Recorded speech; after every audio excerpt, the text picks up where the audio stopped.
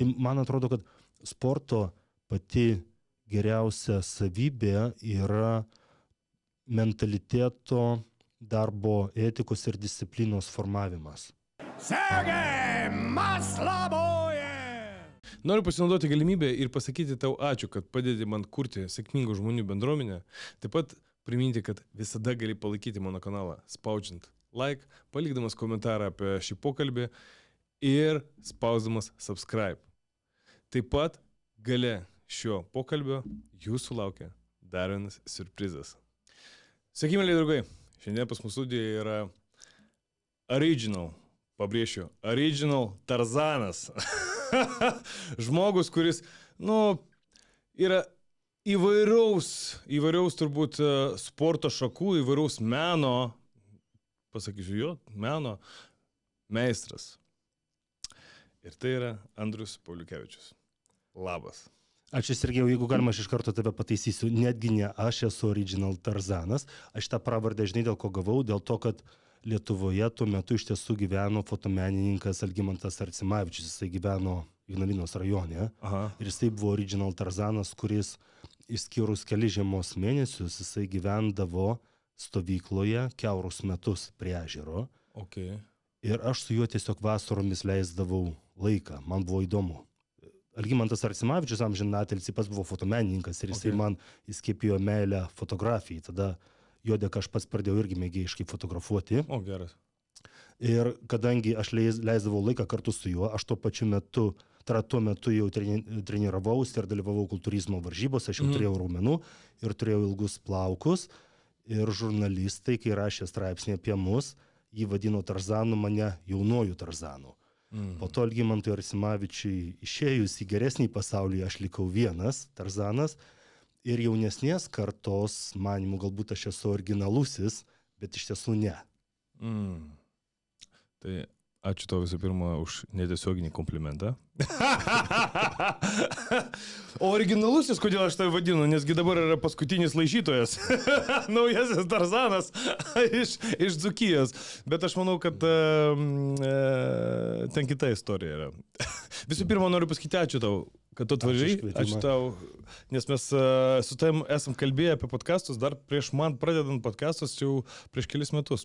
Uh, jo, apie tą idėją. Prieš vienerius metus. Jo, jo, jo, nes aš kartais, kas nuo karto tada mesdavau kažkokius podcastus, taip, kontentui uh, padaryti, bet vis, vis norėjau tave pakalbinti, nes vis tada tuo metu pastų labai inertingai socialiniuose tinkluose vykdai savo veiklą, edukavai žmonės. Uh, Nežinau, kaip tai pasisekė, nepasisekė, nes kiek aš pastebėjau, kad edukacinės apskritai kontentas Lietuvoje labai sunkiai einamas. Žmonės nenori rimtos informacijos, reikalingos informacijos, nori, žmonės nori ha ha ha ha hi hi hi hi. Bet aš stebėjau, aš stebėjau, netgi tie ilgi tavo video buvo tokie ir apie mytybą, apie, kur man visiškai kaip kartais net būdavo ne, neaktualūs, ten pritopimai, bicepsų, ten makštim, bet man būdavo įdomu, kaip tu žinai, stebėti tave iš šono kaip, kaip asmenybę, kaip žmogų, kuris domisi tom, nuoširdžiai tom tiki ir, ir, ir pasakoja, žinai, ir dalinasi. Ir dalinasi tą informaciją, kuri, nu, šiaip yra, reikia, reikia paprakaituoti, kad jie, kad jie gautų. Čia dabar tai nuskambėjo kaip komplimentas man, ačiū. Tai šiaip ir buvo, jo. Uh, bet iš tiesų tai taip pat yra mano darbo dalis ir mano pardavimų dalis. Uh, todėl negalima manęs kelti ant kažkokio piedestalo šiuo atveju ir sakyti, kad aš šviečiamąją veiklą darau visiškai be jokių išskaičiavimų. Uh mhm. -huh. Taip aš ją darau, bet jinai taip pat man padeda save pristatyti arba save reklamuoti arba save parduoti. Jinai vis tiek išskaičiavimą turi. Ne, nu faktas, tai viską, ką, ką mes darom.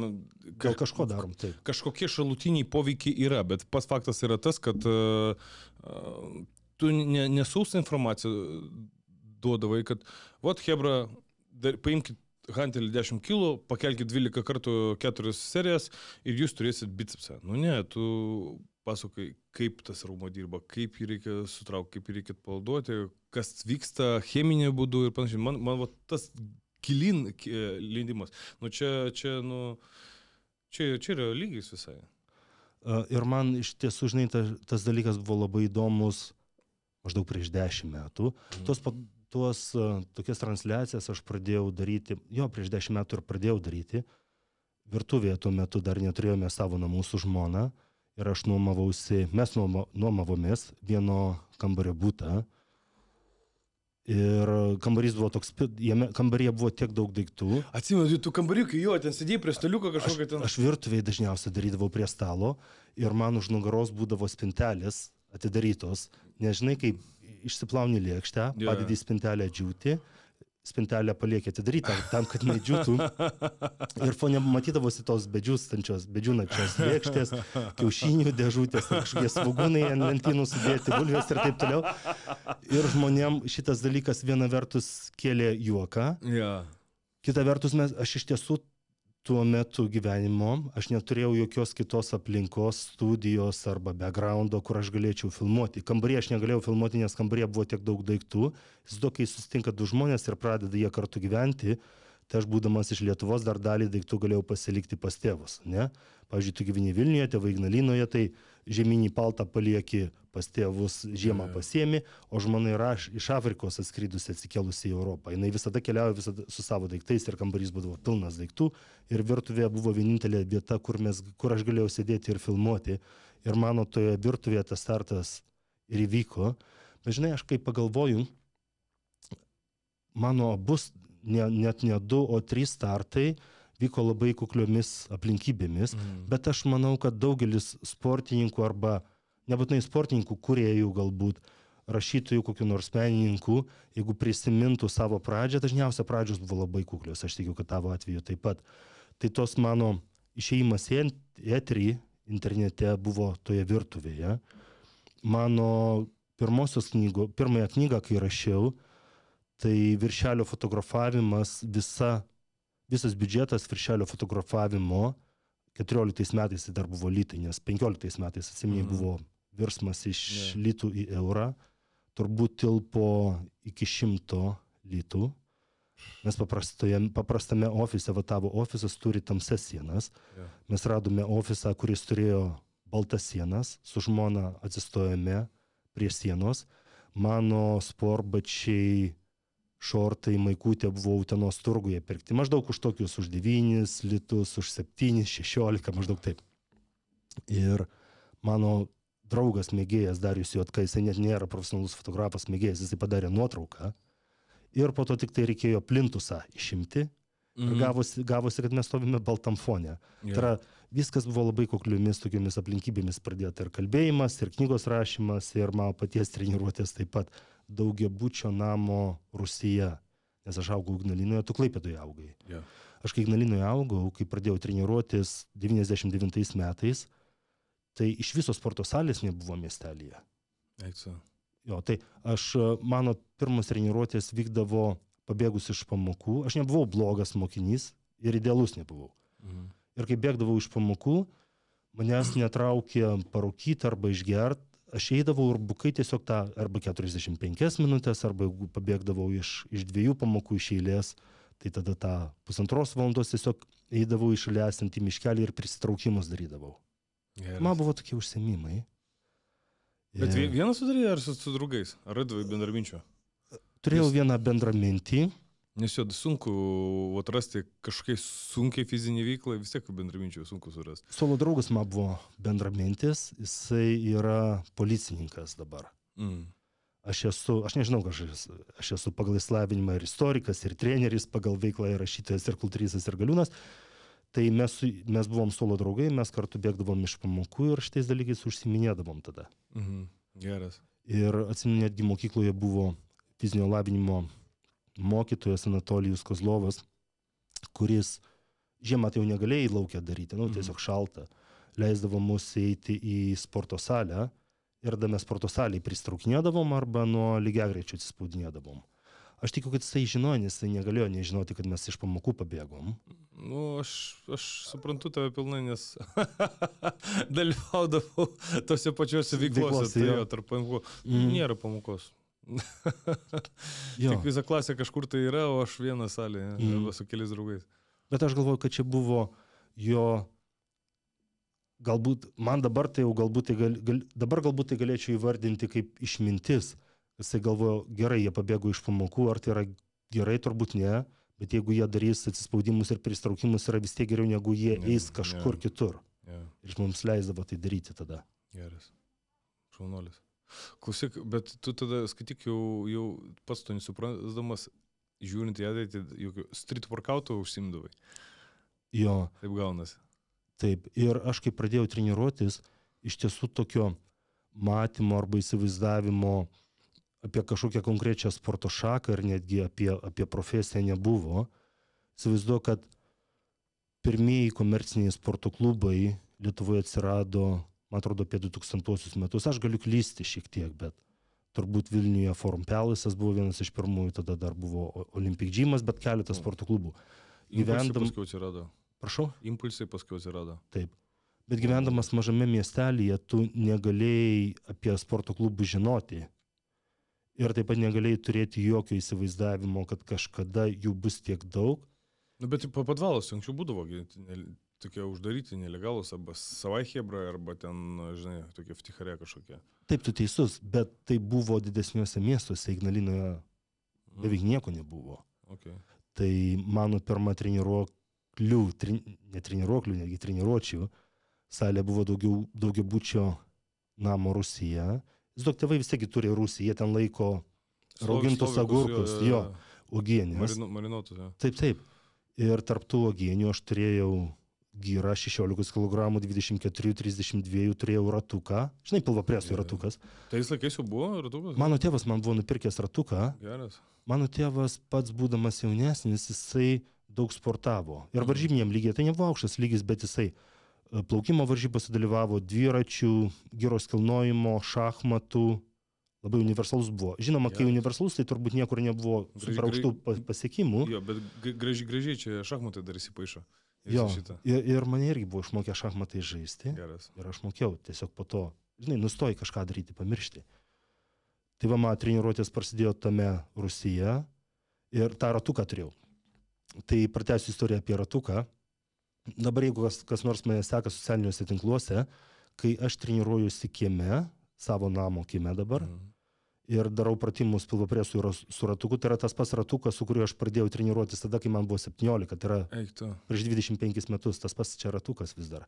Ir gyros, su kuriomis darau tuos kettlebell swings, tam, kad apšildyčiau nugarą, dubenį, kojas prieš pritupimus arba mirties trauką, irgi tos pačios gyros, su kuriomis aš tada Rusija pradėjau treniruotis. Kai geras. Aš viską atsivežiau, man dabar tai žinai kaip, kaip muziejus, kaip istorija. Ir kai tau yra 40 plus, tu, nu bent jau aš, jau aš nebeturiu tokios didelės motivacijos, tokių degančių akių, kaip turėjau tada. Natūralu, tai gyvenime tiesiog taip, taip. nutinka. Ir tai man dabar didžiausias iššūkis, tas motivacijos paieška savo pačiam. Bet kai tu įimi tą ratuką arba tą gyrą ir tu dabar galvoji, kad tai yra tas pats daiktas, kurį aš naudojau, kilnau tada, kai man buvo 17 ir kai aš turėjau tas degančias akis, kai aš norėjau iš to kažką labai padaryti, bet čia, žinai, atrodo, kad iš tos geležies, iš tos gyros dabar ta energija, ta motivacija tau per Grįžtame. rankas į širdį ir į smegenis ir ateina. Geras. Blemba geras. Tokius dalykus dažniausiai žmonės, žinai, kažkur tai išmeta, žinai, palieka jau arba senas, ne, nepatogus, nu vis tiek ten rudyje, dar kažkas genda, o čia tai pas taip išliko. gal čia dar žinai veikia ta mano istorikas mane, nes aš esu pagal išsilavinimą istorijos mokytojas. Mm. Ir aš mėgstu kolekcionuoti. Tai aš esu daug visokių dalykų iš kultūrizmo prikolekcionavęs. Mm. Atsimenu, buvome vieną kartą su Dainiu Barzinsku parodoje FIBO Vokietijoje. G. Cutleris darė pasirodymą ir buvo išsigrimavęs ir po to pasirodymą, kai baigė, jisai turėjo krūvą savo tų maikučių, marškinėlių ir Mhm. metė į publiką. Ir ištepdavo šiek tiek grimų ir tada metą, žinai, ištepa grimų šiek tiek metą. Tai Mhm. tą maikutę aš iš to laiko turiu.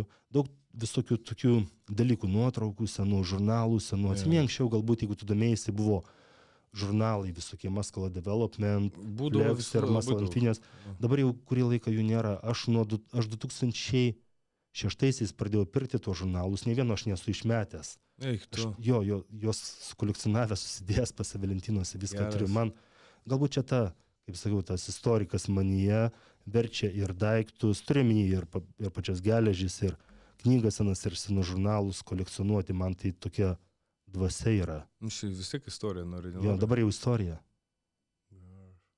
Blemba, fainiai. O, o, o, o. Gerai, tu pradėjai, dabar grįžkim, jeigu į pačią pradžią, jeigu pradėjom, tai tu pradėjai nuo tokio street workouto. Pradėjai, Dabar taip galima pavadinti, ne? Jo, dabar Tuo, tuo metu nebuvo Ne. pavadinimo, tu tiesiog darai tą, ką turėjai. Jo. Ir e, tu užsimdavai, koks buvo motyvas tavo? Kas, kas tave, kas tave uh, vedė į priekį? Kod- Kodėl būtent? Žinai, jis buvo labai, iš dabartinių perspektyvų žiūrint, jis tai galbūt yra labai juokingas. Tuo metu jisai buvo patikti merginoms. Mhm. Nes tu beje turi panašią labai struktūrą, kaip, kaip čia mano profesinė lyga yra žmonės, kuriuos matau nužiūrėti ir įvertinti. Nori, nenori, vis tiek įvertinti, nepaisant to, kad tu nesi kultūristas ir, Yeah. ir tu neturi pirminio tikslo turėti gerą figūrą. Bet man taip pat buvo įdomus klausimas. Nesakyk, pas manęs nuo, nuo vaikystės irgi visą laiką žavėjo vat, visas tas, visas tas body kultas. Uh, Blemba, kaip tas, man tai vyriškumo toks išraiška gal netgi būdavo, kad tikrą vyrišką tokį kūną tvirtą turėti. Nuo vaikystės mane, mane tai labai įkvėpdavo, iš tikrųjų. Mm. Čia įdomus dalykas beje.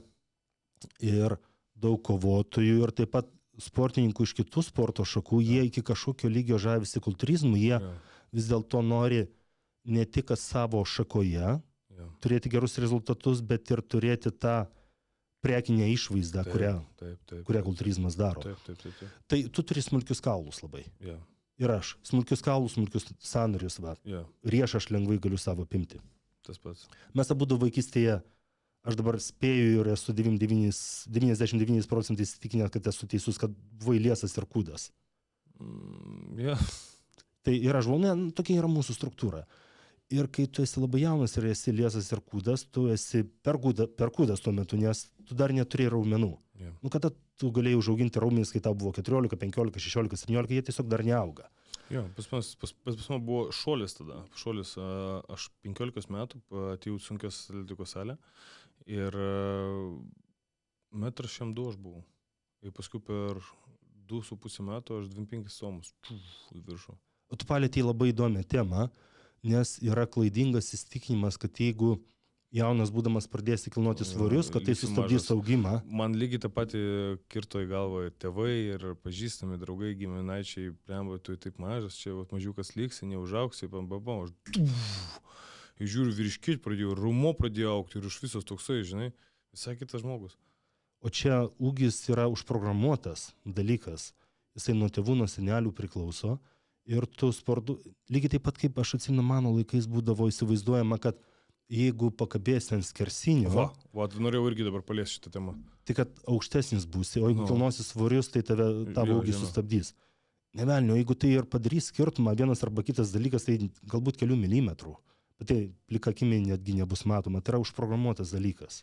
Tu kaip pakabė ant skersinio, tu leidi savo pečiams, nugaros apačiai atsipalaiduoti. Tai labai geras dalykas po, po treniruotės, po krūvio.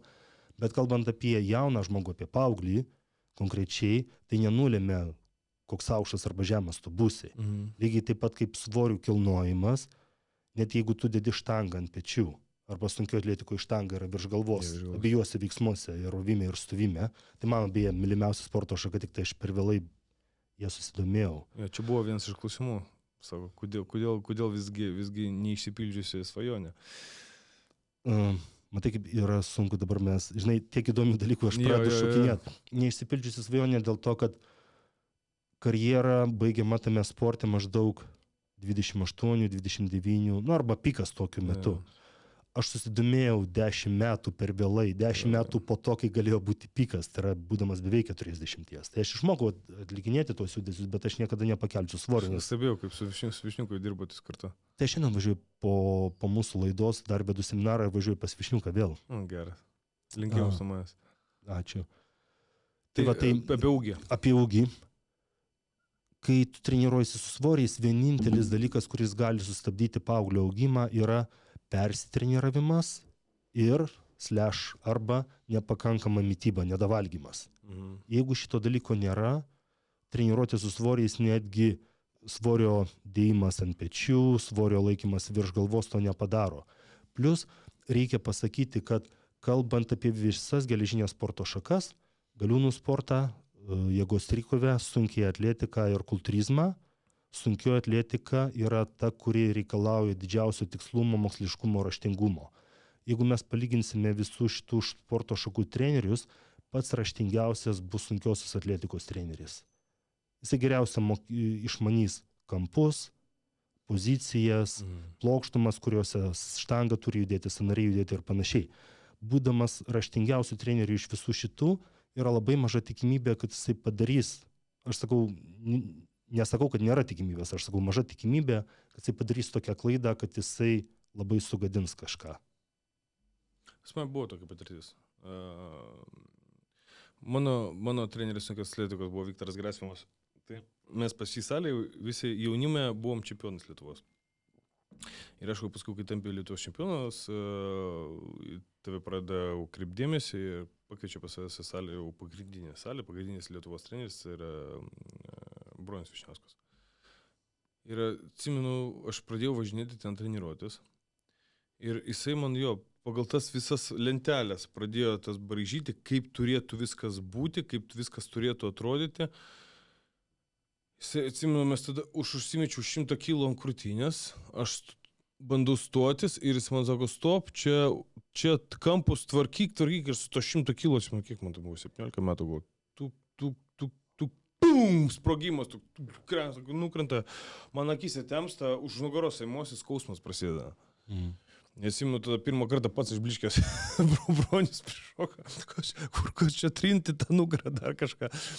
Nes pas jūs salė tada buvo toks iš viso hierarchija, sakyčiau, didavšina pas jų būdavo. Ten tik silpnybę parodai, tave ten ten sujėda. Bet ten visi, visi ten išbliškiai, išbalė, ten mane ant tos, kur kojas užsikabinį, kabėti aukštinkojom, tipo, nu, žodžiu, ten, bet aš supratau, kad ne, ne, aš nenoriu, nenoriu ten eiti, sakau, aš noriu atgal eiti pas savo treninį. Nors einant pas, pas, pas bronių, tave aprūpina ir tuo pačiu triko, tom pačiom štangetkiam, mhm. papildais. Tu kažkaip perspektyvų jau kažkokią turi, jau kažkur tai gal net ir išvažiuoti kaip varžybas į užsienį, bet aš visgi įsirinkau pas, pas savo trenerį grįžti. Bet po tos traumos ar, ar tai buvo tuo metu kažkas, ar iš tiesų lyg ar, ar buvo rimta trauma? Man tada, sakau, kojas atimė. Net kojas atimė. Išvaža tada buvo. Mm. Man tada iššoka išvaža.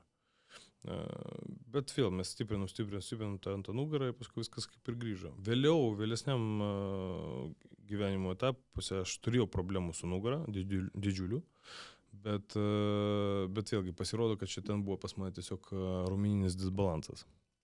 Bet ką, ką noriu pasakyti, kad kuo man, mano, techni, mano trenerio techniko ir darbas labai, labiau patiko, tam, kad sako, kad kiekvienas žmogus yra individualus. Mhm. E, ir jo ūgis, ir jo kūno sudėjimas, ir visa, visa kita. Tai, tai priimas, bet tos štangas turi būti individualus. Žinai, kas netipi, jeigu mes tave, į tave žiūrėsime kaip į štangistą, kas tau yra netipiška, lyginant su kitais štangistais, daugelis štangistų turi trumpas kojas ir ilgesnį ja, liemenį. Tu turi ilgas kojas ir trumpesnį liemenį, kaip ir aš dėl to mūsų kampai netitinka jo, tų standartų. Jo. jo. O man, mus band, mane vadina, tu pagal tos pagrindinius mhm. standartus laužyti. Todėl taip ir gavosi. Tau sakau, kad uh, man, man visai kitaip reikia, reikia dirbti. Nu, nes nu, kažkaip tai Lietuvos čempionų sugebėjau tada tapti jauniu. Tai yra lygis jau didelis. Nu, tai jo, ir tada labai, labai nedaug truko iki Lietuvos rekordininko netgi. Nu, jaunio, aišku. Mhm. Bet tais metais taip ir nepadarė taip nepadarė varžybų, kur turėjo būti mano, nes praeitais metais buvo a, 8-6 metai ir jaunesni, ten kalėdinės paskutinės varžybos, o šiais metais automatiškai turėtų būti 8-7 mano metai. Mhm. O padarė 90 metų ir jaunesnės, tipo ne jaunimo, o jaunučių kalėdinės varžybas. Ir viskas. Ir aš tada su to savo rekordu perinu po naujų metų į vyrų kategoriją. O tai reiškia, kad... Jis tai prapuola. Kad medalių, medalių... Ja medalių man nematyti. Na viskas, ir po to aš ir taip ir aš mečiau su sunkia atletika, nes nebemačiau savęs, žinai, aš kaip pirmą kartą po tiek, po tiek pastangų, po tiek uh, vilčių, pirmą kartą paragavau aukso. Ta aukso medalį, supratau, koks yra skonis iš tikrųjų, kok, koks yra vidinis pasitenkinimas, kai tu užsibrėži savo tikslą, nors niekas aplinkų netikė, tu dirbi, kropšiai dirbi, eini link jo ir tu jį visgi pasiekė. Ir tu pasiekė tą tikslą. Ir to svajonė įsipildo. Ir suprantate, tas pats medaliukas, nu jisai, nežinau, 5 centų, lit, lito, lito lietuviškų centų gal kainavo. Nu, Žiūrėk, aš, jeigu leisi, aš įsterpsiu. Ja. Kalbant apie tokius dalykus, yra dvi savokos ir tu dabar užminė ant to dalyko. Ja. Yra kaina, kuri išreiškiama pinigais ir 50 centų ir yra vertė. Vertin. Vertė tai reiškia, jinai, kiek emocijų, kiek darbo, Būtent, kiek, kiek būtent. gyvenimo į tai yra įdėta. Tai kainos ten nėra, ten yra vertė. Būtent. Vat, vat, bet, bet sakau, bet ta vertė, vat, kur tu, vat, kiek emocijų atneša tas, tas medalis, ir tas supratimas, kad visgi tu gali, visgi tu sugebi. Nors niekas į tai ne- netikėjo. Ar tau buvo taip, kad kai tu tapai čempionu štangoje, leis aš dabar perėmiau iniciatyvą, Mhm. bet dabar tada perduosiu tau atgal estafetę, kai tu tapai čempionu štangoje, tu suformavai nugalėtojo mentalitetą ir jį po Taip. to jau pradėjai neštis visur kitur. Taip. Jo. Tik, tikrai taip. E, Ir ta frazė iš reklamos apie šokoladą, aš matau, Milka, aš visur naudojau, kad kartą paragavęs aukso negali sustoti.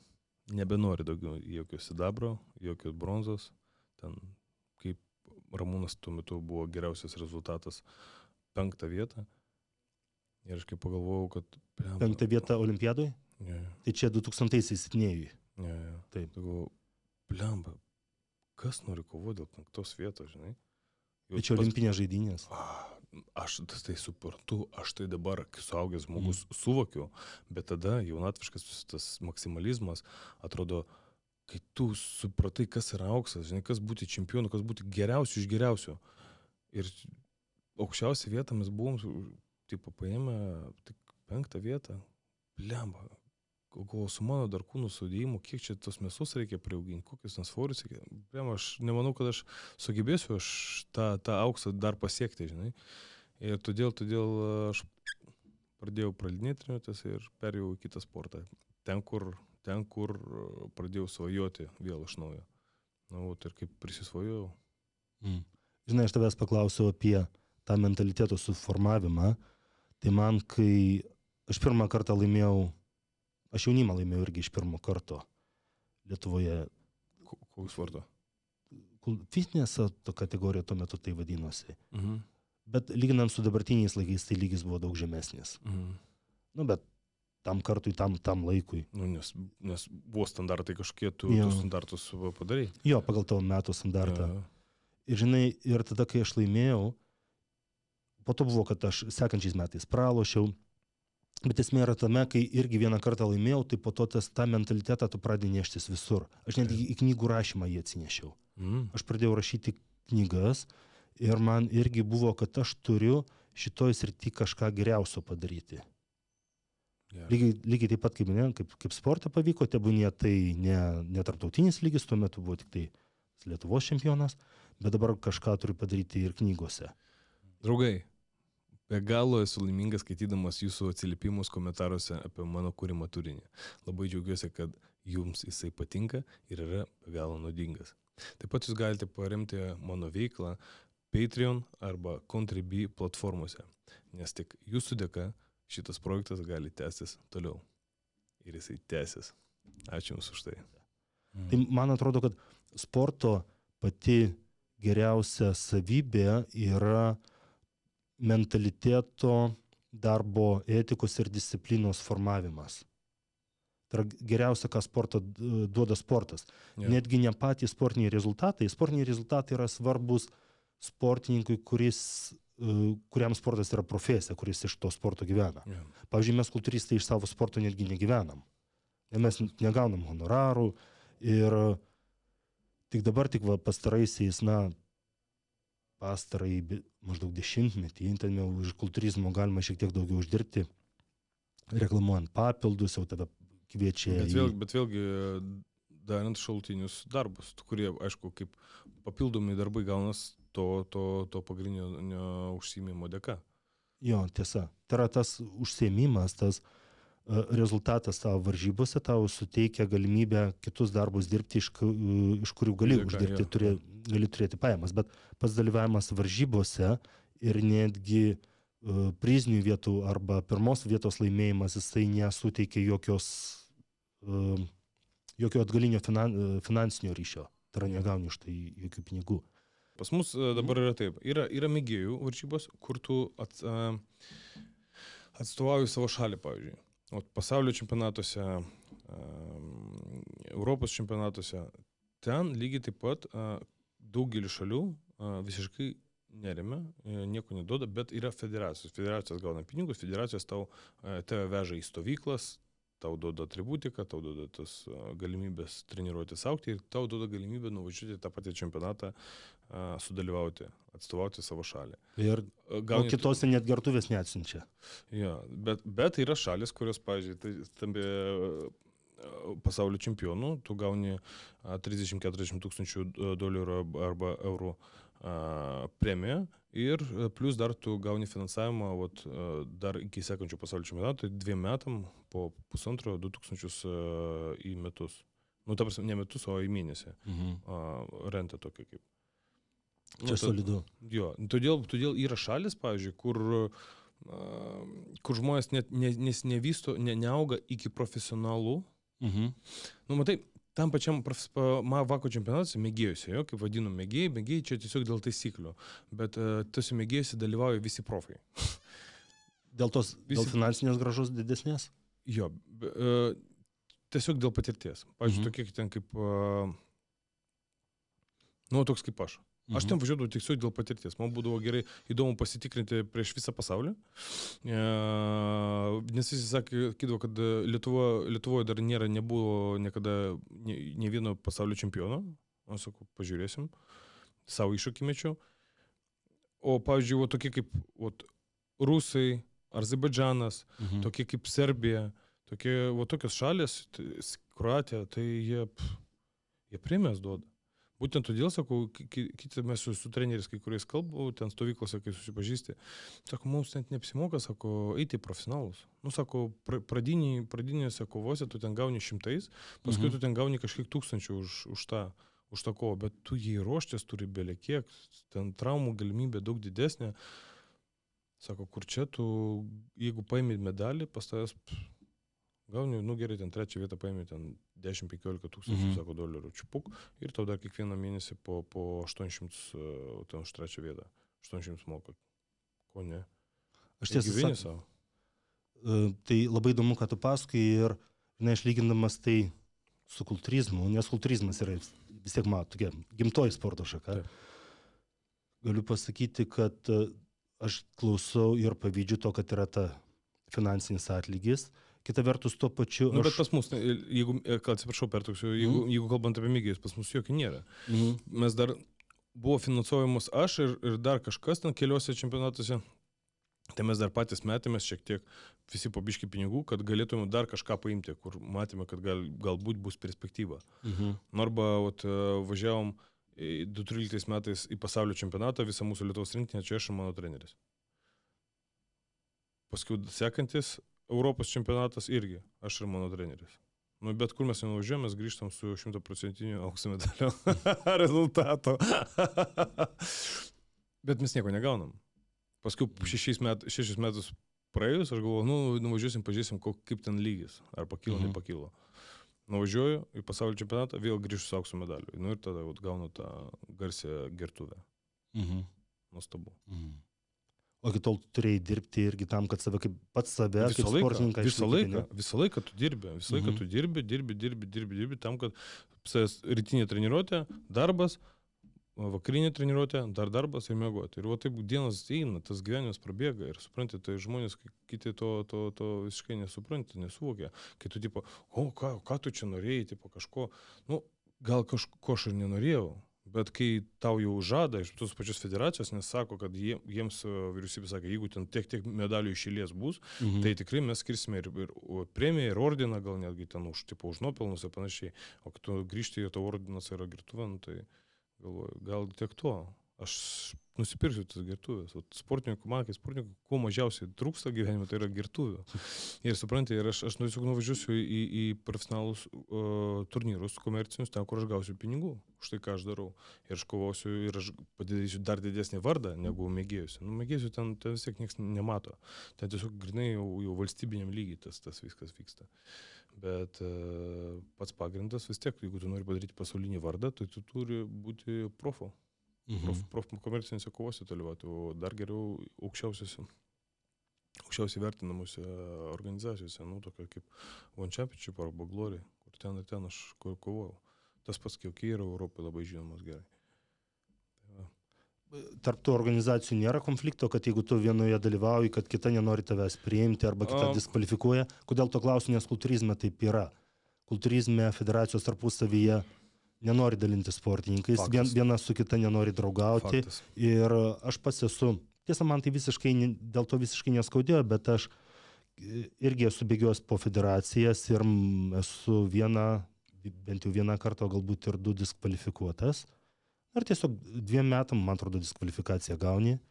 Ir toje federacijoje dviejus metus nedalyvauju, dalyvauju kažkur kitur. Nu, man tai dėl to neskaudėjo, bet tiesiog man klausimas tau. Mhm. Ar, ar tavo sporte to nėra?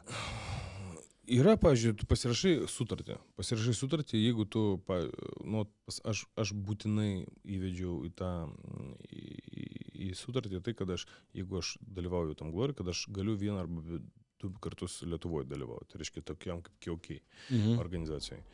E, sako, viskas gerai, ok, bet jeigu tu tampi čempionu, mes jau tavęs nieko nebeleidžiam. Mhm. Nes šiaip, kai aš dalyvaudavau, aš dar kovodavau ir mm, Gloriją, ir, ir dalyvaudavau kiokiai, tai daug labai pasipiktimo iš kitų kovotojų gavus. Kaip jiem leidžiat, o mums neleidžiat, nes, nes jie pasirašo sutartį, kai tu jau ant kontraktą sėdi pas jų, tai tu jau tik tai ten ir gali kovoti. Bet kol čempionų netampi, kai tampi čempionu, čia. Ir čia yra tas momentas, kad kiekviena federacija, jinai nori sukurti įvaizdį, mhm kad jinai yra geresnė arba stipresnė negu Faktas, Kitos? pa- pas jūs, pas jų yra geriausi kovotojai. taip. Ir jeigu tu vienoje federacijoje tampi čempionu, nueini kovoti į kitą ir ten praloši, tai reiškia, kad jų čempionas kažkur yra Ne toks ir pralošęs, geras, ne netoks toks ir geras. Ja. Tai iš kitos pusės dabar, žinai, kai, kai tu dalyvauji varžybose, kai tu visą galvą pasinėręs į, į visą tai, tuo metu priemi emociškai, nes tave tai liečia. Taip. Dabar, kai aš jau atsitraukiau, dabar aš jau galiu, supra, ba- bandau suprasti ir turbūt jau pavyksta, ir iš sportininko perspektyvos žiūrint, ir iš funkcionierių. Tai yra iš organizacijų, vadovų, savininkų, kad tame yra racijos, tame yra Faktas. priežastys. Faktas, čia ne šiaip sau, kad jie tipo, nenori draugauti, tiesiog, nu... Čia įvaizdžio dalis. Kas, svarbi. ka, kas, mm, žinai, kaip pasakyti, jeigu tu dalyvausi ir pas mus, ir pas tos, ir pas trečius, ir pas penktus, tai kom, kom mes tada esame ypatingi? Mhm. Kodėl, kodėl žiūrovam a, rinkti mus, kodėl a, sporto bendruomeniai a, vertinti mus, kaip, pagal ką mus vertinti? Pagal ką? Jeigu visi tie, kur pas mus dalyvauja, dalyvauja ir ten a, Rokiškio kokio nors ten rajono Rokiškio sūrio tauriai laimėti. Jo, pirmenybė laimėti, mm. supranti. Tai tu negali vertinti. Jeigu tu jau pasirašai su aukščiausia Mhm. organizacija lygio, a, jeigu tai reiškia, čia jau yra visų pirma įvertinimas ir kai tu esi įvertintas, nu, tu, tu turi laikytis to ir turi ten badyti ten būti geriausias. Aišku, mūsų sportas dar nėra antiek gerai apmokamas, pavyzdžiui, kaip a, tas pats a, MMA sportas arba, arba profesionalus boksas. Mhm. Todėl, žinai, ga- gali kartais ir surizikuoti, kartais ir nagliau, nes, pavyzdžiui, dabar aš Lietuvoje dalyvau, irgi buvo, buvo toksai biški prieš priešą, nes jie labai sako, kaip čia taip, jūs neatsiklausite, dalyvaujat, ką jūs čia savo leidžiate ir panašiai pas mus kontraktas ir taip toliau. Sakau, nu, žinot, mes prašym revanšinės kovos. Jūs sako, dabar negali duoti. Ką mums daryti? Mums valgyti reikia? Ar reikia? Nu, Tai viskas, mes einam kovoti. Grįžtant dar kelias minutės. nagliau, nes mes suprantam, Mhm. kad, jie, kad aš jiems reikalingas. Jie negali, o jeigu jie eis ten su manimi konfliktu, aš tiesiog išeisiu iš organiza iš organizacijos ir dar padarysiu daug, daug smarvės jiems Mhm. išeidamas. Nu, todėl, žinai, už, uždarė akis ir todėl leido jo kovoti man tokie, okay. Mhm. Bet dar grįžtant kelias minutės atgal, kai mes kalbėjome apie atlygį ir tu pasakei, kad tu iki tol, kol tapai profu ir pradėjai uždirbinėti, kad tu... Aš iš karto profu buvau.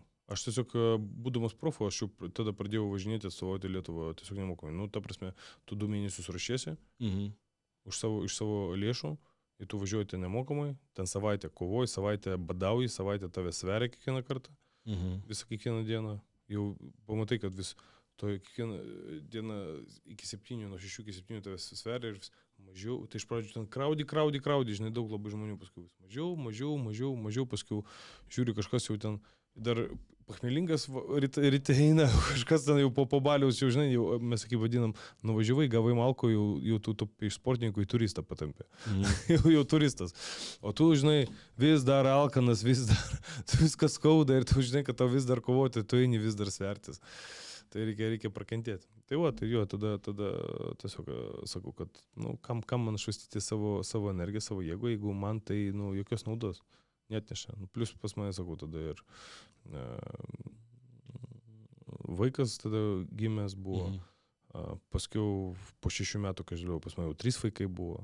Nu, dėl, dėl šiaip, dėl for fun, nu for fun aš čia galiu į kokį nors, o, Lietuvos čempionatą užsiregistravau, tai ne, ne, nebuvo kovų. nu, Kvoftimo čia for fun. Bet kažkur tai ruoštis, važiuoti, energiją dėti, aš šiaip aš irgi savo nes, nesiuošiu dabar visiškai be formos kaip esu, bet tiesiog galvoju, for fun pakovoti. Mhm. Nu, ta prasme, patirtį, žinai, palaikyti tą dėgymą, tą, tą prieš, mm, prieš, prieš kovą, prieš sceninę tą baimę, žinai, pa, pa, pa, pa, pasitreniruoti, kontroliuoti. Nes birželio mėnesį bus labai labai vienas iš tokių rimčiausių iššūkių mano karjeroje. Čia bus aštuontukas, aš aštuntukas esu jau nekartą dalyvas, bet čia bus toks top aštuoni geriausi pasaulio Latvijos vaitai kovos per vieną vakarą. Turi, kad tapti čempionu ten, turi laimėti tris kovos per tris valandas kažkur tai. Toks dabar maratonas. Ne dabar kalbu, toks. Mm. Tai sukovoju, 20-30 minučių, vėl kovoti. Čia žiauru. Čia labai, labai faina. Ir bus labai didelis skirtumas, žinai, kaip kaip krepšinė yra. Yra finalas, prieš tai komandų žaidė pusfinalius. Vieni lengviau laimėjo pusfinalį, kiti, kiti sunkiau. Ir dabar finale jie ne vienodos, būdami ne vienodos energijos, ne po vienodo atsistatymo susitinka. Taip, taip, taip. Būna taip kartais, kad tu gal, vat, pažiūrėjau, aš Bigris Betters tokiam uh, dalyvau organizacijai ten bokso, pagal bokso taisyklės. Tai aš visas kovos antram raundė laimėjau, irgi aštuntukas. O kiti kovotojai, žinai, visas kovos, ten boksausi vis po, po tris, po tris uh, raundus. Gal kažkokią, žinai, aš privilegiją turėjau, nu bet... Bet jinai yra uždirbta. Bet jinai yra uždirbta, taip. O čia lygiai tas pats bus. Tu gali išeiti visas guzuotas, visas skaudantis, visas su gal nesusulaužytų kokiu šonkoliu, bet išeini. O jisai gali būti dar šviežias visiškai. Ar e, jisai yra geresnis, jeigu jisai laimė?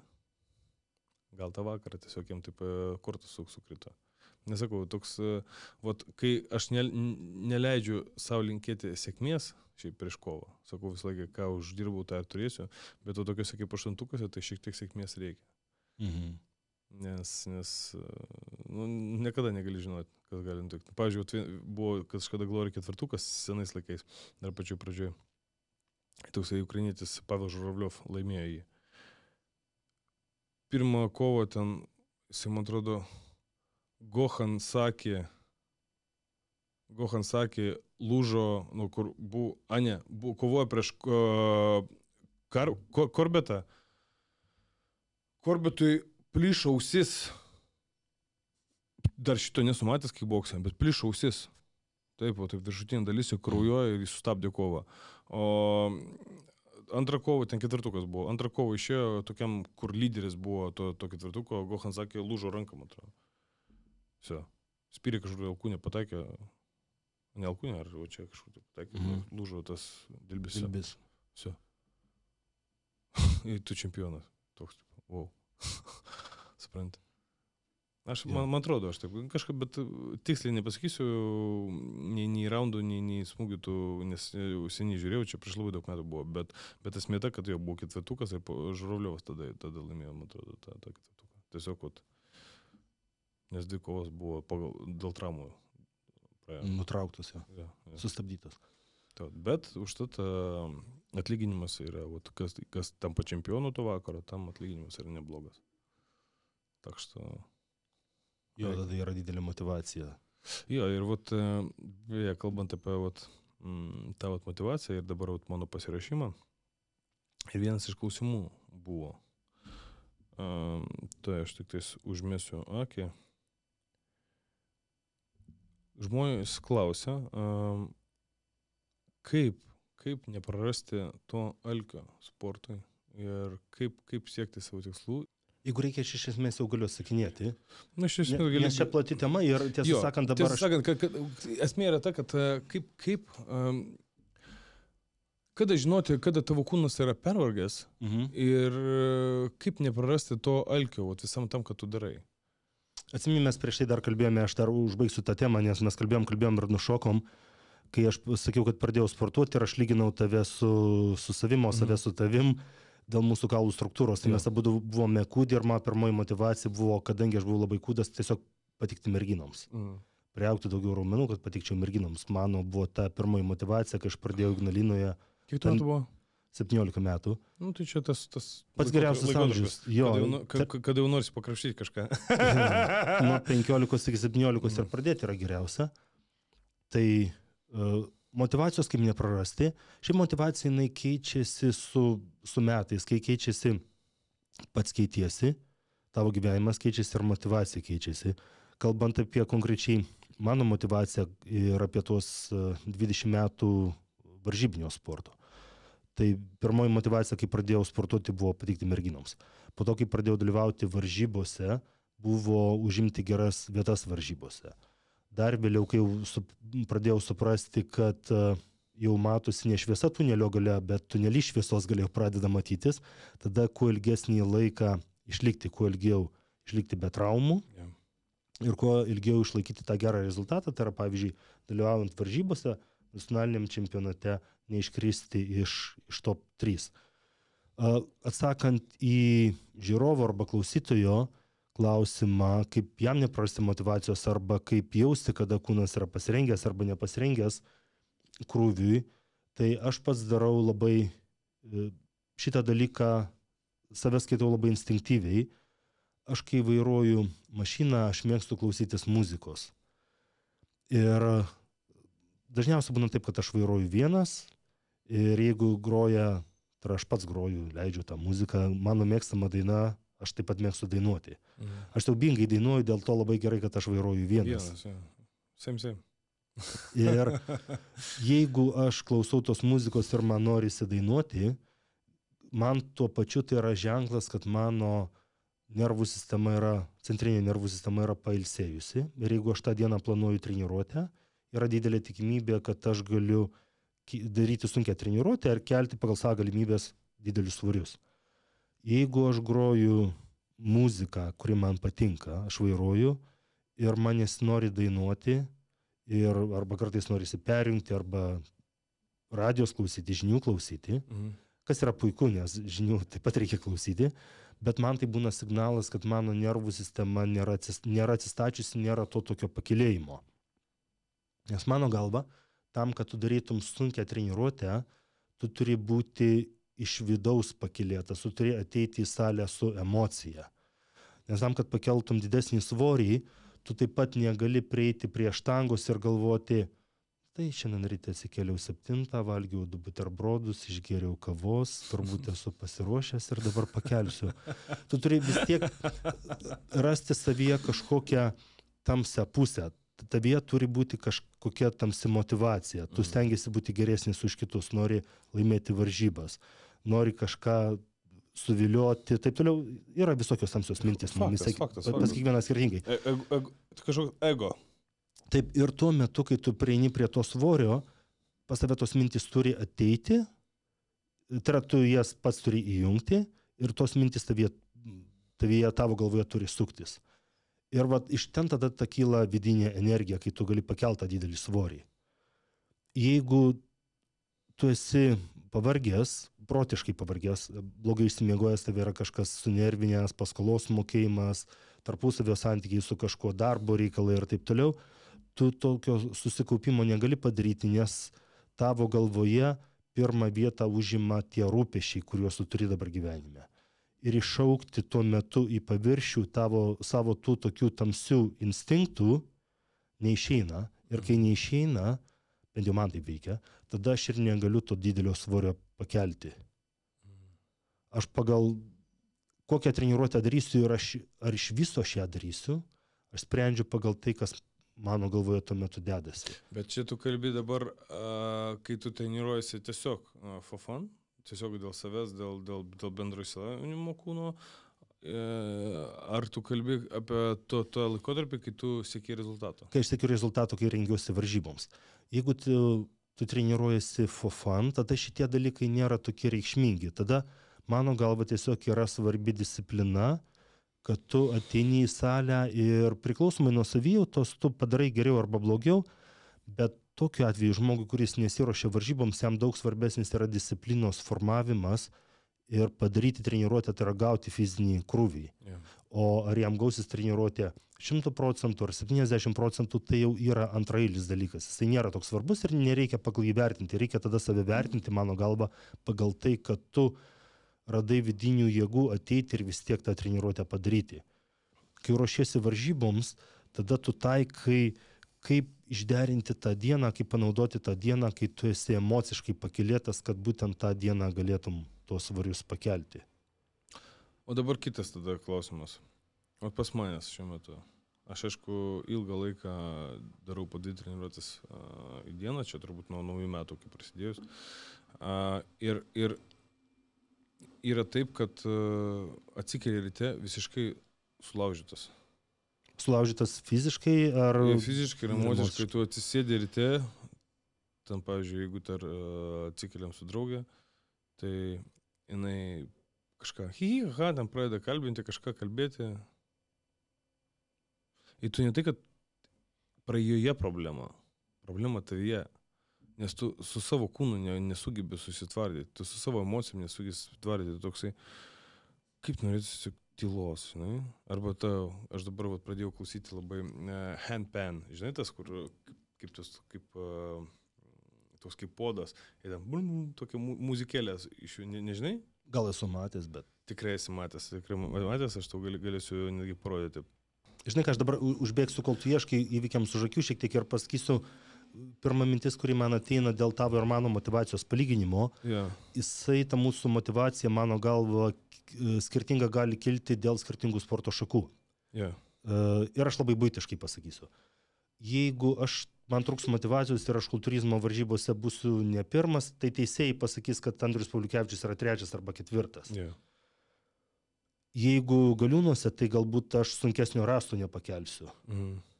o tave muš. Mane muš. Suprantate, tai yra sk- skirtingas dalykas, tai yra pra- pralaimėjimo atvejis. Yra biškai toks. Žinai šitos?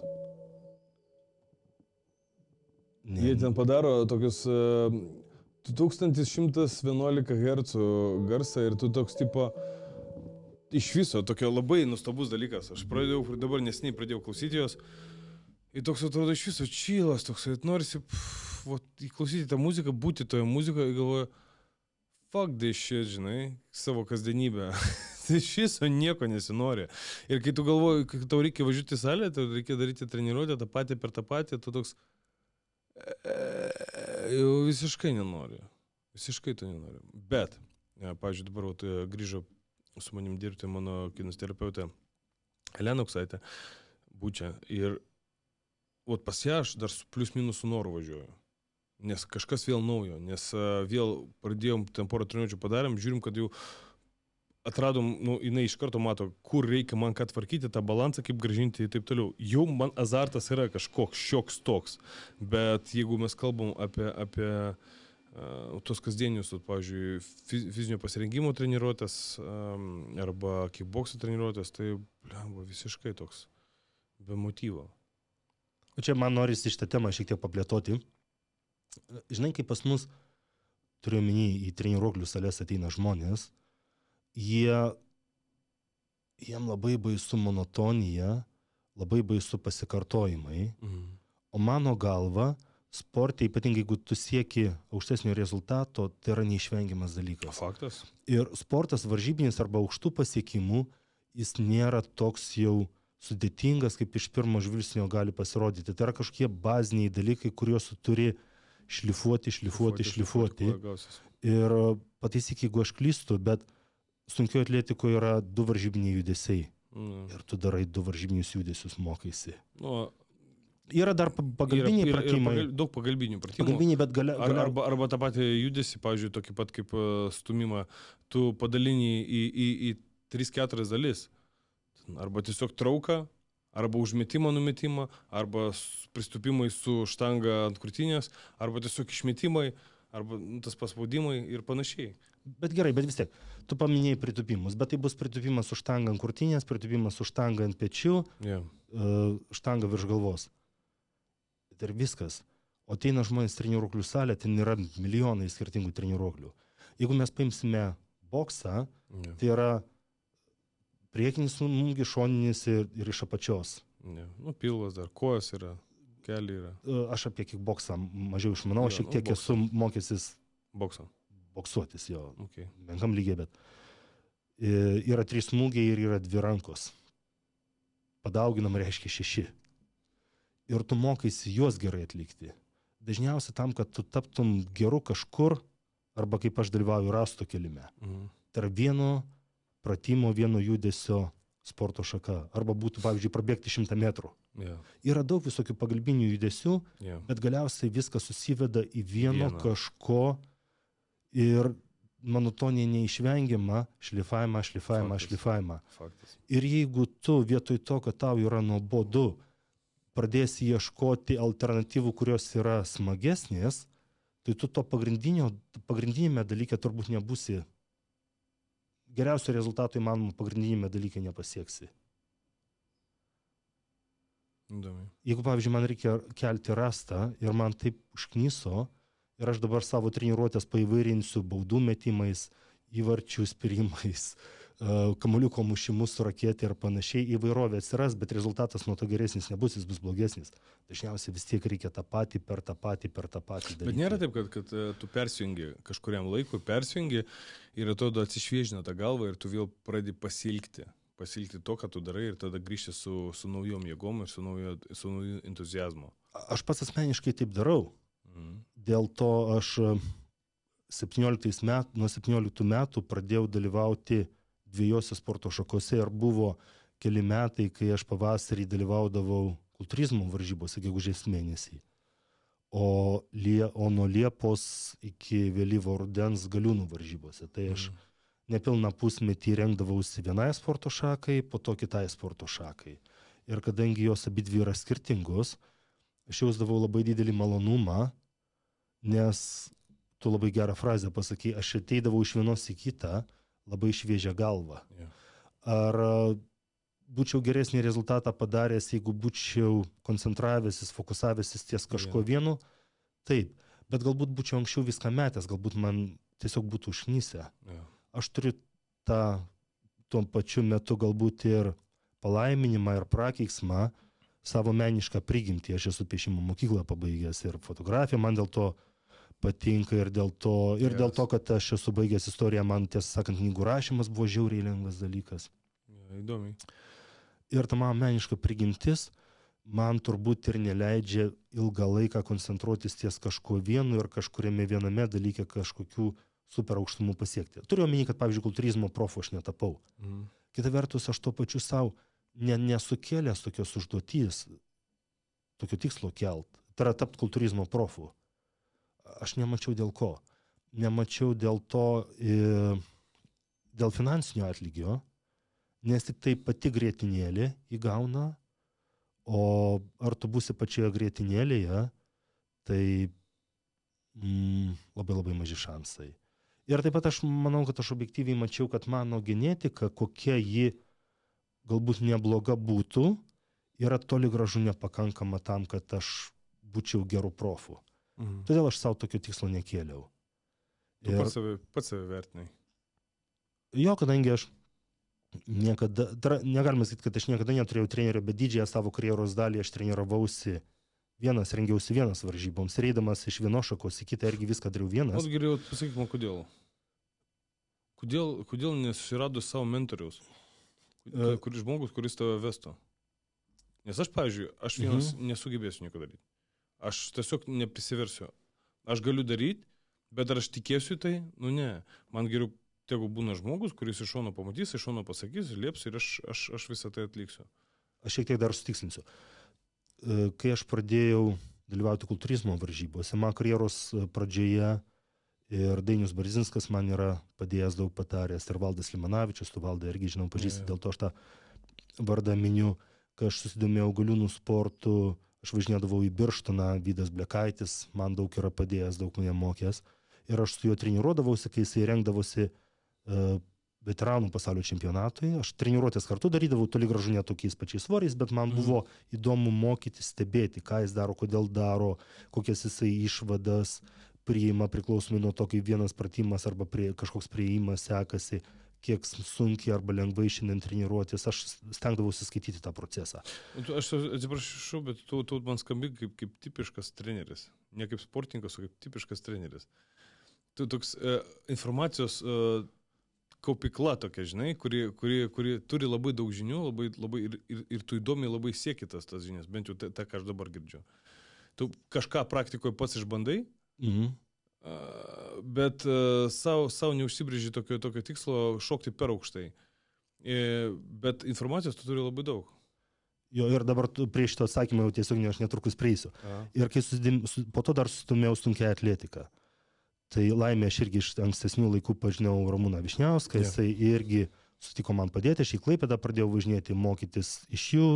Kaip minėjau, aš ten rezultatų nepasieksiu, bet man įdomu yra procesą stebėti. Atsimenu vieną kartą dar Aurimas Didžbalis, jisai olimpinių žaidinių yeah. prizininkas yra treniravusi.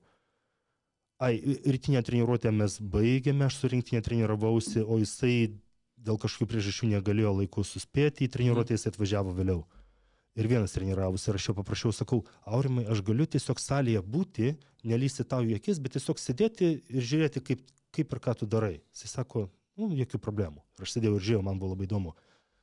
Tai kodėl aš neturėjau trenerio, tai mano vėlgi meniška prigimtis turbūt būtų neleidus, būtum neprasminga dėl to, kad jeigu kažkas man būtų davęs protokolą, ką reikia daryti, kaip treniruotis, kaip maitintis, kaip kažkokius kitus dalykus daryti, aš nebūčiau to protokolo laikęsis, reiškia, aš būčiau trenerį apgavinėjęs, nes aš vis tiek būčiau viską daręs pagal savo savijautą, kaip man tą dieną atrodo.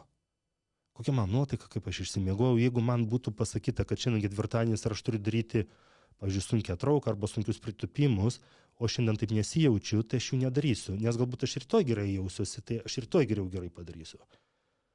Aš į viską labai intuityviai ir galbūt labai meniškai žiūrėjau Ir kaip tu sakei, aš stengiausi, kiek įmanoma, rinkti tas galimybės mokytis iš kitų savo sričių geriausių sportininkų. Tiesiog nu, netgi bukai stebint, kaip ką jie daro. Mhm. tą informaciją visą gerti ir po to viduje visą tai į kažkokią sistemą dėlioti ir po to, kai ateinu į salę, ruoštis. Ir kadangi aš dirbu treneriu, aš labai norėjau, kad kai aš treniruoju žmogų ir aš jam kažką pasiūlau, aš kaip treneris priimu sprendimą, aš žinočiau, kodėl tai darau. Paimsiu kitą pavyzdį, priešingą. Yra daug trenerių, kurie dirba salėse treneriais, jie, pavyzdžiui, yra laimėję varžybas arba varžybų prizininkais mm. yra tapę. Mano srityje kultūrizmo įvairiose kategorijose, bet jie prizininkais tapo patys turėdami trenerius.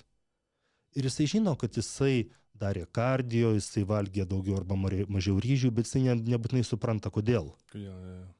O aš norėjau suprasti, kodėl ir jeigu aš padariau klaidą, tai aš žinau, kad aš esu atsakingas ir aš taip dabar jau tą klaidą suprantu ir aš ją galiu pataisyti. Aš norėjau pats priimti visus sprendimus ir pats išmokti, suklyzdamas ir po to galbūt gerai padarydamas.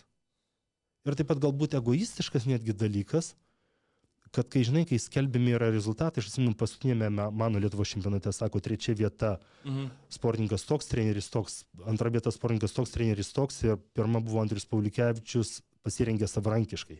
Mano čia egoistiškas yra dalykas taip pat. Geras. Iki kažkokio lygio. Aha. Nu, bet o kaip tau pačiam būtų treniravimas? Pasakyk, vat, vat, nes, nes tu vis tiek, aš taip linkstu, kad tu esi uh, žmogus viduj savęs, uh, turintis tokį cinkelį ir norą treniruoti ir auginti vat, per savo, kaip sakai, menišką išriškimą, uh, negu, negu, negu pačiam siekti to rezultato. Kaip, kaip tu, tu žiūri treniravimą? Kaip... Kitų žmonių? Mhm. aš kai dirbu treneriu sporto klubuose, man yra labai įdomu, man neįdomu yra treniruočių tos sistemos. Dėl to, kad kažkai 20 metų jau tą dariau, tiesiog yra viskas atsibodę. Tu žinai visas schemas. Jeigu žmogus treniruojasi tris kartus per savaitę, raumenų grupės gali sudėlioti taip, jeigu keturias gali taip sudėlioti, tame nieko iš esmės naujo nėra. Jeigu jam skauda alkūnė, tai vietoj prancūziško spaudimo tricepsui geriau bus su virve daryti. Tai yra jau tiek kartų viskas praeita, kad tai yra tiesiog neįdomu. Man įdomu, treniruojant žmonės, yra asmenybės. Man įdomioji treniruotės dalis, kai aš dirbu su klientais, yra pertraukos tarp serijų, kai mes kalbamės, kai jie kažką pasakoja iš savo gyvenimo, savo veiklos, verslo ir taip toliau. Čia man įdomioji dalis. O suskaičiuoti 3 kartus po 10 arba 3 po 12 ir pakeisti hantelį nėra įdomu. Žinai, aš, ne, aš nenoriu meluoti ir apsimintinėti. Yeah. Ir tiesą sakant, aš savo klientams tą taip pat pasakau. Aš sakau jiems, aš kaip treneris turbūt, nu, galbūt negražu apie save taip sakyti, nes arogantiška ir uh, turbūt nesu blogas, nes turiu kažkokią patirtį ir gerų dalykų galiu išmokyti. Pats treniruotės vedimas man nėra įdomus dalykas, man įdomus yra bendravimas su jumis. Treniruotė gaunasi kaip šaltinis poveikis. Gerai, gerai. o, o, o Nu, pavyzdžiui, rezultato gavimas. O, pavyzdžiui, vis tiek tu dirbi su klientu, kažkiek tai jau laiko, praeina mėnuo, 2, 3, 6 mėnesiai. Mhm. Vis tiek kažkoks rezultatas. Tu nėra tokio vidinio pasitenkinimo, kad tu matai, kaip žmogus keičiasi o tavo dėka. Yra didelis skirtumas tarp to, kai treniruoji žmogų rengi varžyboms. Ir pastarasis ir ko gero paskutinis mano projektas buvo Linas Pernavas. Ir kitų žmonių rengti varžyboms aš daugiau turbūt nenorėsiu dėl to, kad Linas kaip, kaip mokinys, jisai mane taip išlepino, turiu minį yra toks geras mokinys, kad dirbti su kažkuo kitu man jau daugiau nebesinorės. Kodėl? Žinai, Linas buvo, atsimenu, kai patį pirmą kartą mes su juo susitikome, žinai, kokia jo buvo frazė, nes paprastai žmonės, kai prašydavo, ar galiu padėti pasirengti varžyboms, jie sakydavo, klausdavo, arba sunku, kiek reiks valgyti, kiek reiks sportuoti. Žinai, jie stengdavosi stipriai, stipriai. jo pasižiūrėti, apsidrausti, ar uh, ar šitas kasnis, kurį jie nori apžioti, ar nėra per didelis. Mhm. Lino frazė buvo, parašyk, ką aš turiu padaryti. Tai jam nebuvo įdomu, bus sunku, bus lengva, ką aš turiu padaryti. Nu, jisai, jisai šiaip turi tą, nu, blem, jisai struktūrose dirba, tai jis turi tas, kaip pasakyti, šiaip mentalitetas, tas toksai išvystytas turbūt, žinai. Taip, labai. Yra, yra duota komanda ir, kaip man treneris jau pirmoji sakė, kraujas iš nosies bėgs, bet mes privalom tai padaryti. Viskas. Nėra gal nori, nenori, sunku, nesunku, yra komanda duota tu, ir tu nesustoji, kol tu jos nevykdai. Galbūt vat, vat tas jam padėjo. Taip, jam tas nebijotinai padėjo, bet man kaip jo treneriui su tokiu žmogum dirbti buvo žiauriai lengva. Mm. Dėl to, kad tu žinojai, kad jisai atsimenu man vieną kartą skambina, aš jam leisdavau daryti čydėjai. Žinai dėl ko? Dėl to, kad jisai gyvena su šeima ir jeigu jisai laikosi dietos, dabar ateina sekmadienį, žmona iškepa blynų arba piragą ir jisai dar ir to nevalgo, kokie bus santykiai šeimoje. Yeah. Tai aš jam sakiau, aš nenoriu, kad tu rengdamasis varžyboms, su, varžybose užimtum gerą vietą, bet sugadintum gyvenimą. Gerai, pala, dabar, o, o pasakyk, o čidėjai, ką tu galvoji apie tai? Tu, nes dabar sakai, aš jam leidžiu, tai tu esi prieš čidėjus? Aš esu labai už ir aš visą savo karjerą darydavau čidėjai dėl to, kad aš kai buvau kūrybinė ir esu kūrybinė asmenybė, aš daug savo knygų parašiau tuo pačiu laiku, kai aš rengiausi varžyboms mhm. ir kai laikiausi dietos. O tu pabandyk parašyti knygą visiškai nevalgydamas angliavandenių. Mm. būdamas ant dietos. Tai aš darydavau sekmadienį baisia, baisiausias čydėjai. Tai yra, jeigu kažkas kažką gali įsivaizduoti, kokio ir kiek maisto galima suvalgyti, tai reikia iš kelių kartų padauginti ir tai bus aš. Mm. Tai yra, kiek aš valgydavau ir aš sekmadienį tada bent jau juodraščius pasirašydavau, nes tuo metu protas prašviesėdavo. Taip, ne? Jo. O nebūdavo taip, kad sustodavo skrandis? Būdavo. būdavo. Jo, būdavo. Ir kaip, kaip, kaip, kaip tada? Nebūdavo, eini, kad, pag, eini pagulėt. Kad dar, kad dar blogiau jautiesi po to. Taip, taip. Bet, žinai, buvo kitas psichologinis dalykas, kad po tokios čydėjai aš pirmadienį labai norėdavau valgyti varškę. Mhm. Nes jeigu tu visą laiką, visos 12 savaičių varškį ar krūtinėlę valgai, tu, tu jos nenori. Yeah. O po čydėjai, kai po to, kai jau tau pasidaro bloga, tu po to labai nori, nes oh, pagaliau vėl lengvas jaučiuosi. Kaip Kaip vėl skrandė lengva. Kaip, kaip skaičiau vien, vieną frazę, tokia man patiko. Uh, cheat, cheat meal is okay, Mhm. but cheat week is not. Uh, aš sutikčiau dėl cheat week, kad tai is, is, is not okay. uh, Um, cheat day uh, priklausomai nuo medžiagų pikaitos, priklausomai nuo to, kiek žmogus smarkiai dirba likusias tas šešias dienas. Nuo to priklauso. Tai va, tai Linui aš duodavau tą cheat day daryti. Ir atsimenu, Mhm. jisai man vieną kartą skambina, sako, tu žinai, aš išsigandau, man atrodo, kad šiandien aš biškai per daug suvalgiau, kas dabar bus. Aš sakau greičiausiai, kad nieko nebus. Paprastai tu per pirmadienį ir antradienį tai sudegini, jeigu per daug suvalgiai, galbūt sudeginsi trečiadienį. Tai yra, nu, bus pusės dienos arba vienos dienos skirtumas. yeah. Bet esmė yra, kad jisai buvo sąžiningas. Kiti žmonės jie būna, prašai mytybos planą, jisai valgo kažką kitą, o po to sako, gal galit pakoreguoti, nes svoris nekrenta. Tai va, tai, tai po to... Tai gal, tai, gal, tai, gal, tai gal tavo snacksai ne, nežin, ne, ne, nežymus, žinai, tokie, kur praeini, čpuk, čpuk, nes, kaip sako visi, ką aš valgau, ką aš valgau, aš valgau tą, tą, tą, o ką tu užkandžiauji. Ir tas tada, tada išlinda, kad tas užkandžiavimas vos nedaugiau negu tėvų, tai tas maitinimas gaunasi. Tai jo, tai mintis, kurią aš noriu perteikti, kad su Linu buvo labai lengva dirbti, o ruošti kitus žmonės tam, kad daryti tą tokį rezultatą, aš nenoriu dėl to, kad tokios asmenybės, antros tokios asmenybės nebus. Nu, būtum tu, bet tu esi kitoj sporto šakoje, ne? Kol kas, kol kas, kol kas. Okay, gerai. Mes dar grįšim prie šito klausimo po kelių metų. Taip, e, dirbant su žmonėmis iš kitų sričių, rezultatas yra, kai žmogus geriau jaučiasi. Taip, jisai kažkiek svorio numeta, kažkiek kilogramų priauga, bet tai jam nėra pirminis dalykas. Jam pirminis yra dalykas, jisai ryte pasportuoja ir jo darbo diena yra geresnė, produktyvesnė, jo nuotaika yra geresnė, čia jo yra rezultatas.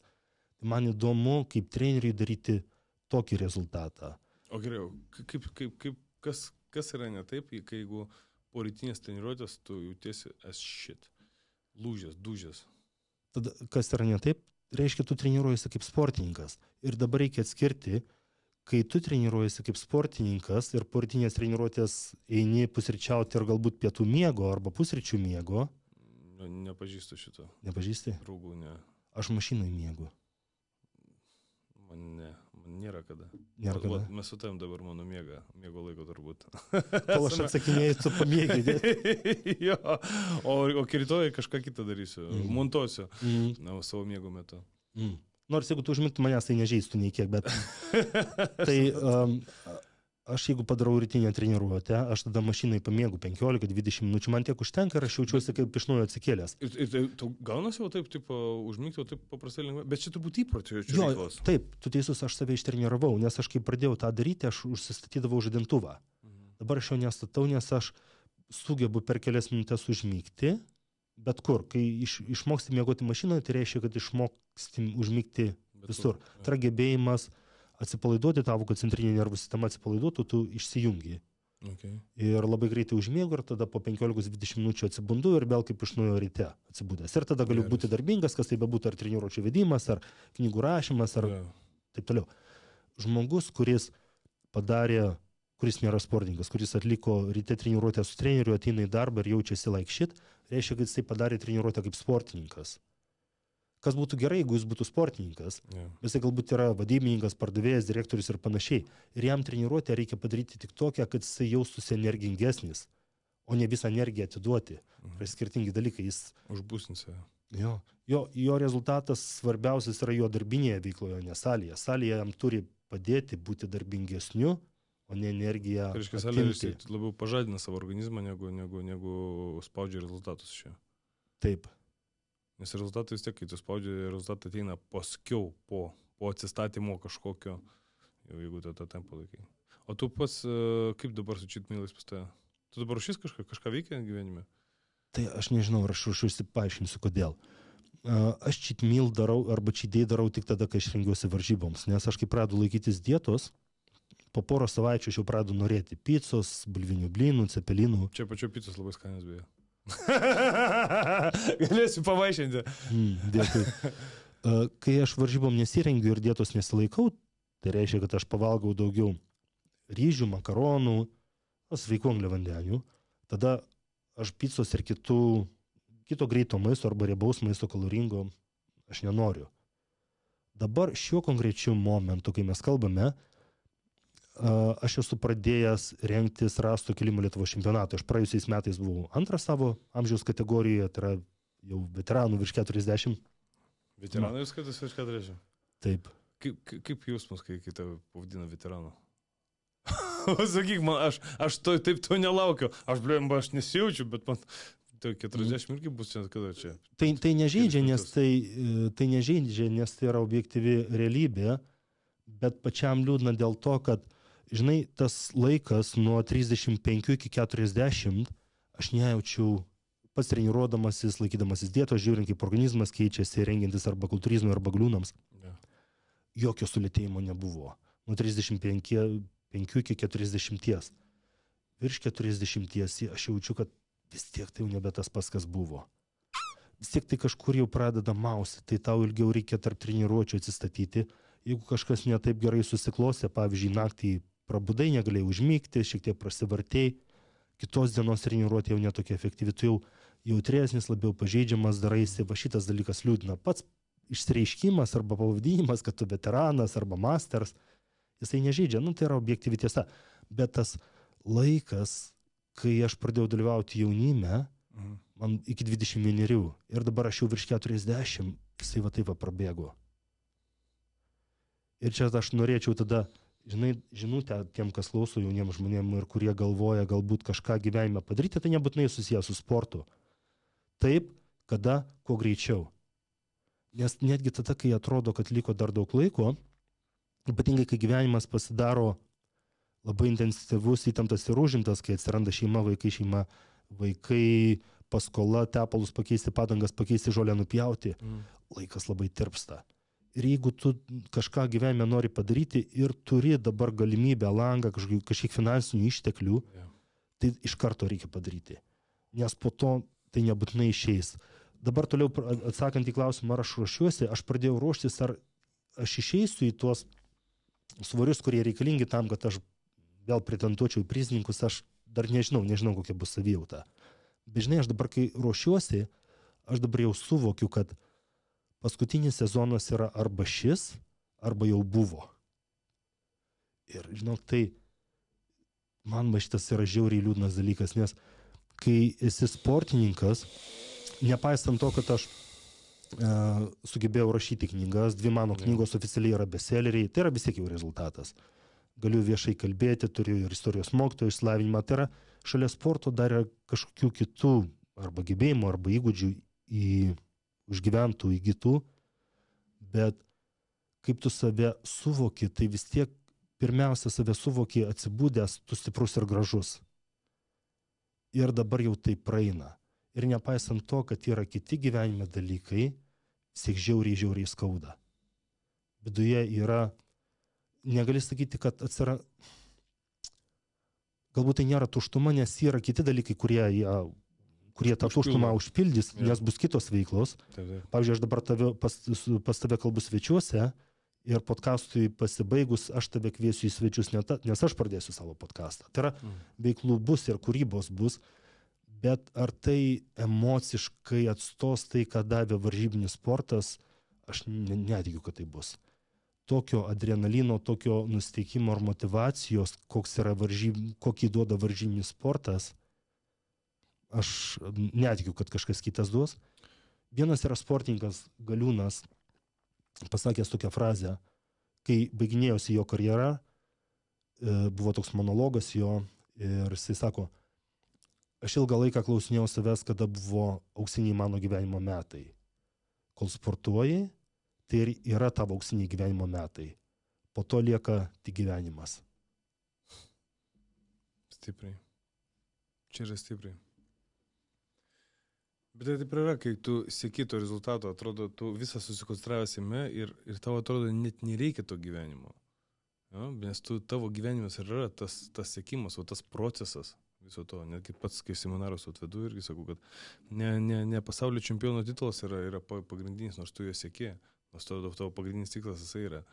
Bet iš tikrųjų pats tikslas yra procesas. Ir kom tu tampi, kokią asmenybę tu, tu užaugi, siekdamas vat, būtent to. Man atrodo, kad uh, aš turbūt tiesiog pratęsiu arba pildysiu tavo mintį dabar išsakytą. Laimė yra, kai tu tą kasdienybę džiaugiesi. Tu minėjai apie tas sunkias dienas, kai tu atsibundi ir nenori ir kalbėti, nieko nenori ir daryti nieko nenori, tai jos neišvengiamai pastaiko. Bet vis tiek didžiąją dalį tu džiaugiesi tuo, ką tu darai. Ir tas sunkumas tau patinka. Ir sunkumas, vad, esi tu, tai yra tai, kas tave apibrėžia. Nuolatinis, nuolatinis noras įveikti sunkumus, o kai jų yra šiek tiek per mažai, susigalvoti naują. Ja. Nu, tai yra turbūt paprasčiausia formulė sveiko, sėkmingo žmogaus siekti skausmo, kuris galiausiai baigėsi malonumu. Nes visi mes esame varomi dviejų jėgų - ir skausmo, ir malonumo. Daugiau niekas mus negali varyti. Tai mes arba, kaip visi, visi gyvi padarai, mes venkime skausmo, mhm. siekime malonumo. Bet dažniausiai sėkimas uh, greito malonumo uh, priveda prie dar didesnio skausmo. Jo, ir skausmo vengimas dabar, kai kol tu esi jaunas ir gali tą skausmą iškesti, yeah. atveda prie skausmo, kuris ateina vėliau ir kai tu nieko nebegali pakeisti. Labai paprastai kalbant, jeigu tu turi gebėjimą kažkam, sportui, verslui, kūrybai, mokslui, ir tam, kad tu tą gebėjimą, tą talentą įgyvendintum, reikia didelės disciplinos ir daug reikia aukoti. Taip, taip. Aukojimas yra skausmas. Taip. Jeigu tu dabar to skausmo neapsiemi ir to nepadarai, tos aukos dabar, tam laikui praėjus, tau labai skaudės dėl to, kad tu nepadarėjai. Vis tiek skaudės.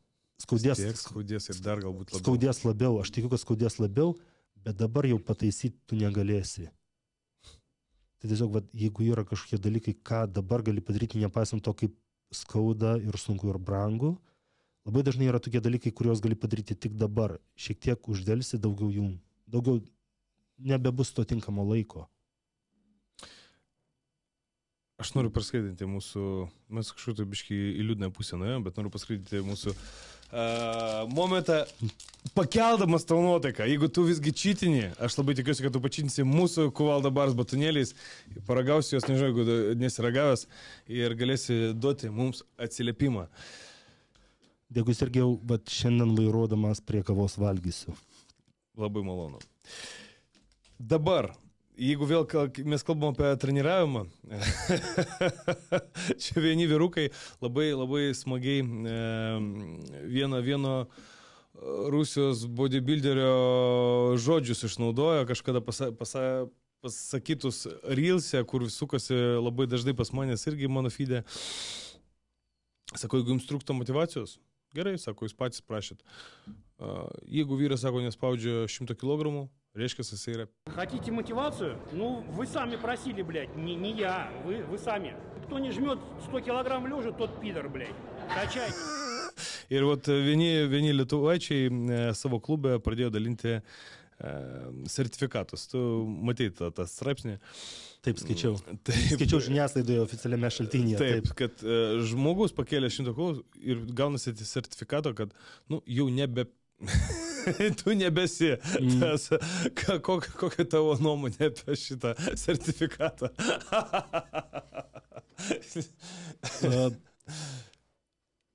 Čia yra dvi pusės, kaip štanga turi du galus. Aha. Tai viena vertus, aš skaičiau tą istoriją dėl to ir, ir žinau ne tik iš to, ką tu dabar pasakai, nors, tiesą sakant, tu man nuorodą ir numetį ir, yeah. ir dėl to sužinau. Tai treneris tą treneris, mano manimu, pasielgė negražiai. Vis tiek turint omeny, kad mes esame vakarietiška visuomenė, yra mūsų tokia kaip visuomenės vertybės, nepaisant to, kad galbūt mes ne su viskuo arba ne iki galo sutinkame, bet yra kryptis, kurią mes kaip vakarietiška visuomenė vis tiek turime eiti. Mhm. Kita yra pusė, kurią aš viena vertus pasakiau, kad treneris gal, galbūt negražiai pasielgė, kuri yra sportai ir aš dabar šiek tiek trenerį noriu tuo pačiu ir pateisinti. Mhm. Jeigu mes paimsime populiariausią Lietuvoje sporto šaką, nebijotinai krepšinį, mhm. aš skaitydamas tą straipsnį atgaminau dvi frazes, kurios buvo ir žiniasklaidoje. Kai rinktinė treniravo Būtautas treneris, man atrodo, tada jie tapo Europos čempionais 2003. Ir žurnalistas kartą jo, žurnalistė paklausė, kodėl jisai tiek daug keikėsi. Ir jisai pasakė, aš esu vyrų rinktinės treneris, o ne piešimo mokytojas. Ir mes, kai, tai reiškia, kad kai kalbė apie sportą ir kai yra motivaciniai dalykai, kai reikia sudrausminti arba motivuoti, tą tamsią pusę, jo, tai vis tiek tu irgi pats turi būti tamsus ir griežtas, kai kuriais ir ekspresyvus ir tai neišvengiama. mhm. Kitas išsireiškimas buvo iš Antano Sereikos ir tai buvo tapę metų fraze, kažkuris sporto renginys buvo tai išrinkęs, jis yra sakęs, kad visi vyrai yra cezariai, vieni karbėdžiai, kiti salotos. geras. Šitas tai... geras. Tai vi- vis tiek yra užminamas dalykas apie vyrą ir vis tiek yra potekstė, kad yra dvi lytys. Ir kad jeigu tu nori nugalėtojas būti, tu turi būti va ta vyriška lytimi. Mhm. Vis tiek sporte, tebūnė tai, gal kai kuriais atvejais reikia, kad tai neišeitų į paviršių, ne, vis, ne visos frazės ištartos, ne visi padrasinimai arba subarimai Jo. išeitų į viešumą, bet, bet sporte tai yra tiesiog neišvengiama. Dar viena. Iš, e, man atrodo, Hipokrato, e, man, man labai labai patinka um, frazių, kur sako, kad yra turbūt didžiausia, didžiausia gėda vyrui mirti, nesužinojęs savo tikrųjų kūno galimybių. Atrodo, filosofas buvo. Taigi tais laikais filosofai atrodė kaip, kaip vyrai. net, net taip kaip šiandien salotos. tu Vėl padarai tą patį, kaip yra tame pažymėjime, tik tai jau dabar gražiau išsireiškia jo. Nu, nu, kažkaip tai taip. Taip. Bet anksčiau tai būdavo. Toks, toks priimtas uh, vyriškumo, nežinau, nu, kaip norma. Žinai, e, vyriškumas, e, šitą dalyką yra pasakęs Eddie Hallas. Eddie Hallas, žinai, tas galiūnas Anglijos, kuris pirmasis 500 e, atkėlė mirties traukoje 2016, o 17 metais jisai laimėjo World Strongest Man. Tai jisai yra sakęs, kad jeigu mes kalbame apie vyriškumą ir apie, galima netgi ir konkrečiai specifiškai apie sportą, tai pirma savybė, apie kurią mes kalbame, kai, kalb, kai kalbė apie vyrą, ir pirma savybė, kuri ateina į galvą, kuri asocijuotųsi, su, asocijuotųsi tau su vyriškumu, yra stiprumas. Stiprumas arba jėga šiuo atveju tai yra tas pats. Ir kas geriausiai išreiškia stiprumą arba jėgą, tai yra pakeltas svoris. Na, vienam arba kitam pratime.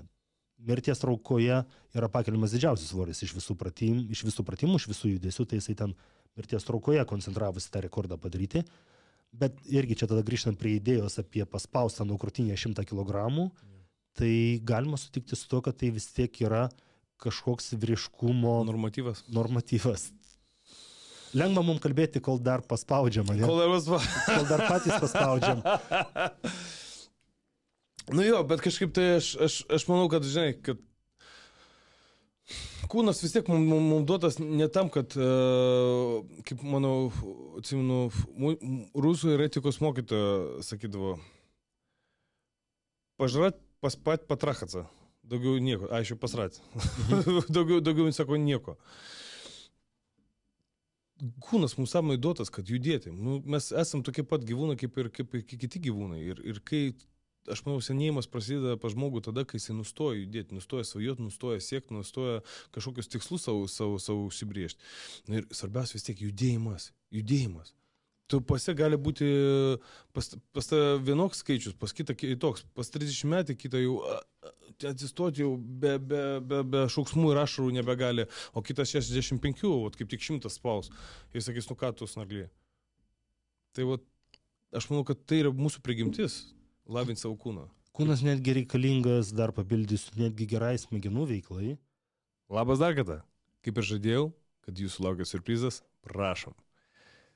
Mūsų partneriai Viking siūlo jums D9 kolonėlę, kur yra nuostabi, uh, waterproof, geras basas, geras kokybiškas garsas. Ir jūs galite ją laimėti. Viską, ką jums reikia padaryti, tiesiog komentarė. Uh, palikti savo Instagramo tagą. Taip pat nepamirškite, kad jums reikia sekti mano puslapį ir a, už savaitės aš pranešiu, kuris iš jūsų yra nugalėtojas. Todėl noriu palinkėti jums sėkmės ir ačiū, kad esate kartu.